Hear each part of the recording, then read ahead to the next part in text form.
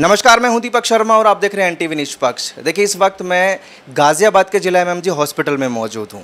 यहाँ की तमाम खबरें आती हैं कि यहाँ ये समस्या है। मरीजों को काफ़ी दिक्कतों का सामना करना पड़ता है। मैं इस वक्त हॉस्पिटल के जो मेन इंचार्ज हैं, मनोज चतुर्वेदी जी, उनके साथ उनसे बातचीत करने का प्रयास करूँगा कि आखिर लोगों की समस्याओं को कितना सॉल्व किया है इन्होंने और क्या क्या सुविधाएँ दी गई हैं। सर बहुत बहुत स्वागत है आपका। थैंक यू अभी जो पेशेंट की बहुत भीड़ रहती थी बगे दिनों से तो जिलाधिकारी महोदय के आदेश के अनुपालन में टोकन सिस्टम व्यवस्था कर दी गई है। पेशेंट चेयर पर बैठ जाते हैं टोकन डिस्प्ले होता है तो उनको लाइन लगानी पड़ती है सब बुज़ुर्ग हैं या महिलाएँ छोटे बच्चे तो उनको खड़े हुए दिक्कत पड़ती थी।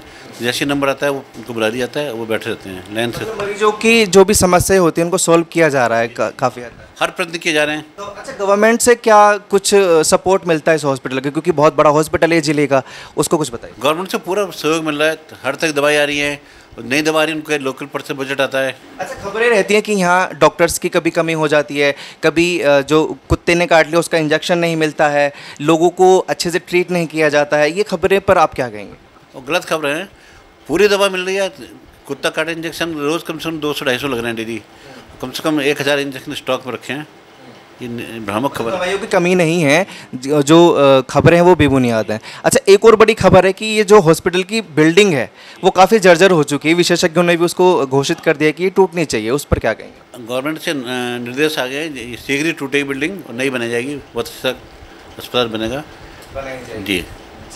अच्छा एक मैं पॉलिटिकल भी सवाल आपसे करना चाहूँगा। जो दिल्ली की आम आदमी पार्टी है वो अपने हॉस्पिटल को बड़ा बड़ा चढ़ा के बताते हैं कि हमारे हॉस्पिटल में ये कुछ मिलता है यूपी के हॉस्पिटल बेकार हैं उस पर क्या कहना चाहेंगे? क्या यहाँ सुविधा वो नहीं मिलती जो दिल्ली के हॉस्पिटल में मिलती हैं?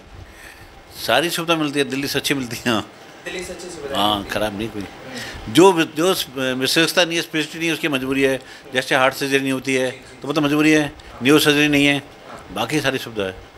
कहते हैं कि जो सरकारी हॉस्पिटल हैं यूपी के बड़े ख़राब हालत में हैं। ना वहाँ पंखे मिलते हैं मरीजों को ना एसी ना कूलर। लेकिन दिल्ली के हॉस्पिटल चमचमाते हुए दिखेंगे आज के टाइम में। आम आदमी पार्टी ऐसा आरोप लगाती है। नहीं नहीं सारे पंखे ए सी सपोर्ट में वाटर कूलर लगे हुए हैं।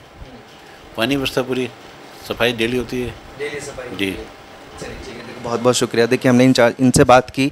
विमल चतुर्वेदी जी के साथ हम मौजूद थे।